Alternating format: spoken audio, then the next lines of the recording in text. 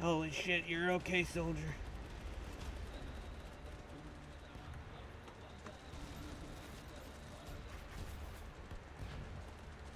Man, you really died a second time, huh?